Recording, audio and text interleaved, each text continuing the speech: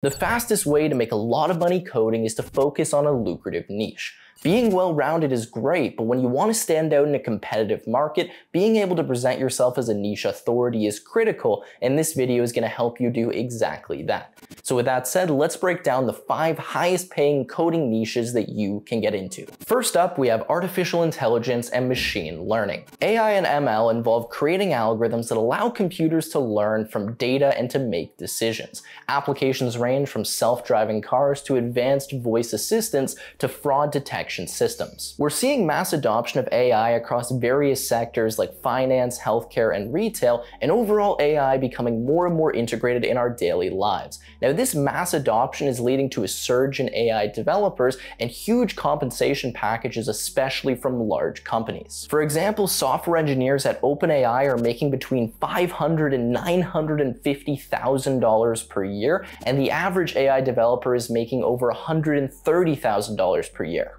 Despite the looming narrative, AI is predicted to create over 2.3 million jobs by 2025 while only replacing 1.8, leading to a net gain of 500,000 jobs. Now, I know we hear all over the place that AI is replacing programmers and getting rid of all of the jobs. That couldn't be further from the truth. It's actually creating a lot of opportunities that you can take advantage of right now. That said, if you want to become an AI developer, here's exactly what you need to learn to break into this field. Starting with mathematics, we have linear algebra, calculus, and statistics, and some more advanced mathematical concepts that you learned in something like university or computer science degree. Then you're obviously going to need to know programming languages. So something like Python and R are going to be the most popular for machine learning and AI.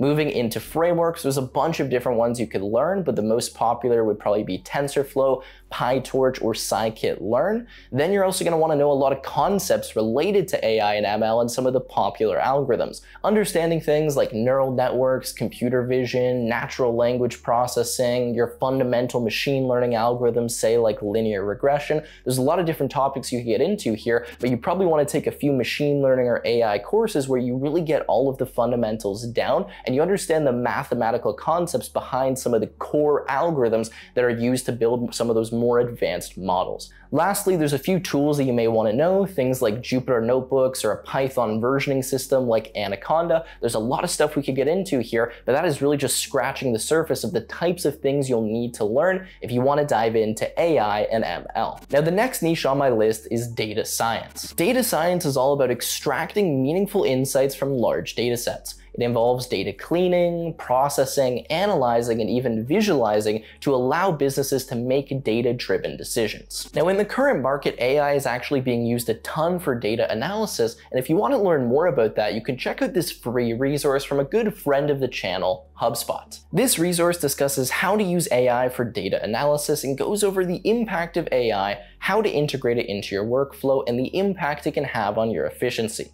It even has a curated list of 30 plus AI tools to use specifically to enhance your analytical capabilities. That's actually my favorite part of this resource, a really useful list of tools that I can actually mess around with and see real value from in my workflow. I've left a link to this in the description, so make sure you check it out. Now with AI becoming more and more powerful, it's important to embrace it and really lean into these tools. Now a massive thank you to HubSpot for providing this resource and tons of others completely for free and for sponsoring today's video. Now data science has experienced tremendous growth over the past few years and this has really been driven by the importance of data in decision-making processes across various industries. Job postings for data scientists have skyrocketed year over year, showing a strong and sustained demand for these these types of professionals. Like artificial intelligence, data science is being adopted across a ton of different industries, even those that aren't typically considered that modern. Even your older school businesses are realizing the importance of utilizing data, and because of that, they need data scientists. So many businesses today are running based on data-driven decisions, and they need a way to analyze, clean, and visualize that data, which is where a data scientist comes in.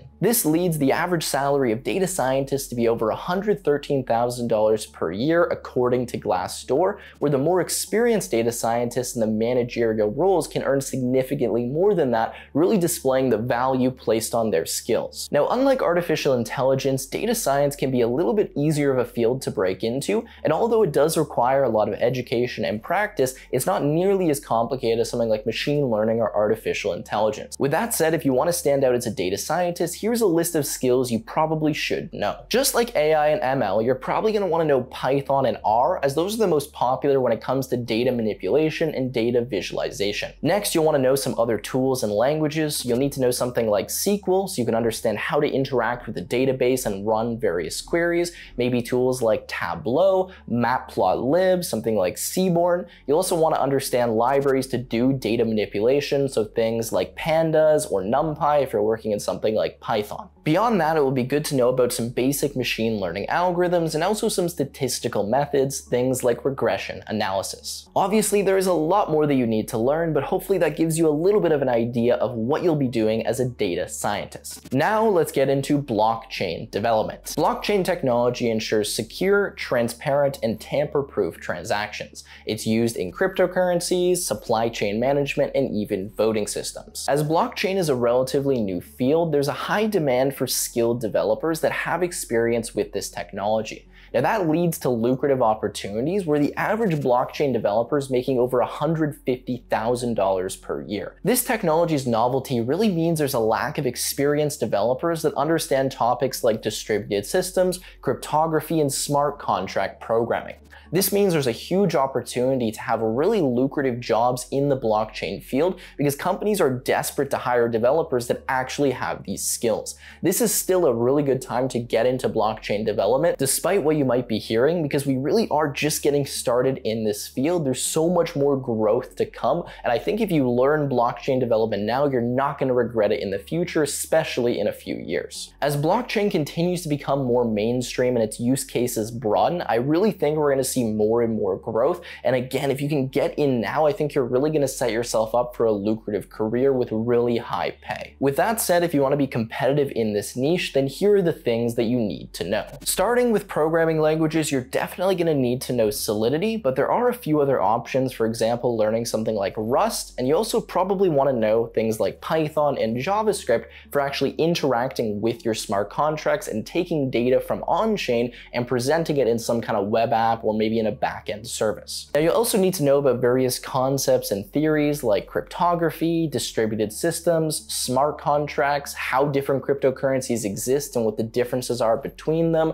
uh, consensus mechanisms like proof of work, proof of stake. There's a lot of different things you'll want to learn so you actually understand what a cryptocurrency is and what blockchain technology is really used for. Now in terms of tools, you'll want to know about things like Truffle, Ganache, and MetaMask, and you'll want to look at different development frameworks like using Hardhat and OpenZeppelin. There's a lot of stuff to discover in this world of blockchain, but that's just a taste of what you'll need to learn if you want to get good in this field. Now, fourth on my list is cybersecurity. With the increase in cyber threats, cybersecurity has become increasingly important to protect sensitive data and maintain privacy. It involves defending against attacks, ensuring data integrity, and mitigating risks. In 2023, there was a reported gap of 3.5 million cybersecurity professionals, a gap that's expected to persist through 2025.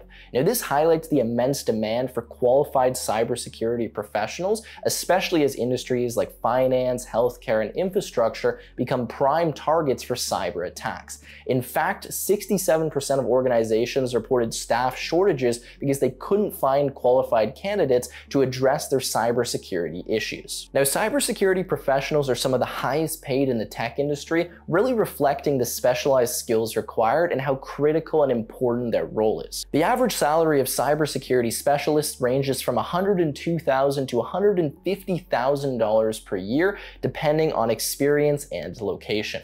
This is really a very lucrative role that has extreme demand and something I definitely recommend getting into if you're willing to learn all of the specialized skills. Now, because I'm someone who doesn't have a ton of experience in cybersecurity, I'm not gonna give you a list of things to learn here. I'm gonna recommend you go and do your own research and learn from people more experienced than me. What I will say is I know this is definitely a field that's very lucrative and constantly growing in demand. We're seeing more and more cyber threats. This is becoming more of an issue and more companies are really taking this seriously. I think this is a great field to get into. And if I was just starting out in tech again, this would probably be one of the number one ones that I would dive into just because of the potential and how much you can get paid and how important your role is. So last but not least, we have DevOps. DevOps combines software development and IT operations to improve deployment speed and quality. DevOps has become a critical component of modern software development and the need for developers with this specialized set of skills is continually increasing.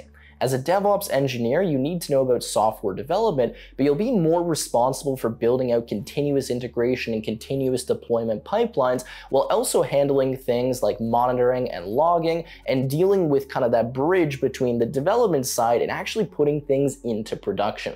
There's a lot of different things that you need to know, and your role is really critical to make sure that you can actually have software that users can use. The global DevOps market is expected to grow from about $10 billion in 20 2023 to over $25 billion in 2028, representing a compound annual growth rate of over 20%. This is really showing the increase in demand for DevOps engineers in this type of practice, and getting into the DevOps field can lead to really lucrative salaries and really important roles with increasing demand. The average salary of a DevOps engineer ranges, but those that have one to three years of experience earn about $97,000 per year, whereas those with four to six years of experience earn over $135,000 per year. Obviously, you can make a lot more than this, but this is a pretty competitive salary and something that's quite high if you compare it to a lot of the other regular development roles. Now, if you want to be competitive in the DevOps field, there's a lot of different things that you need to know, and you also need to be good at regular software development before you start jumping jumping into this more advanced field. Regardless, let me give you a list of things you might want to consider if you are going to become a DevOps engineer. So in terms of programming languages, we have Python, Java, C++, Ruby. You don't need to know all of them, but knowing one or two of them can be good, especially because you'll probably do some scripting as a DevOps engineer. Now next, you'll want to know continuous integration tools, so maybe things like Jenkins, Apache Maven, Apache Ant, then containerization orchestration, so things like Docker or Kubernetes, various cloud platforms, so we have AWS, Azure, Google Cloud, bunch of different options out there.